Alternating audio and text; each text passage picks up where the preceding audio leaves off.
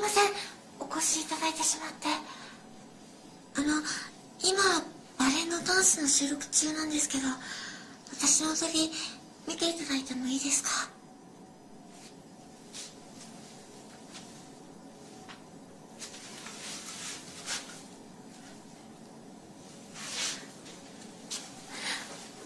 踊りで気持ちを伝えようと思ったんですけどやっぱり自分の言葉で言います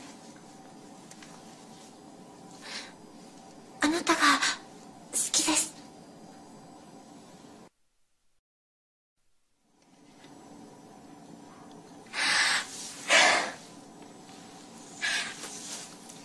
では今日からお付き合いさせていただくということで。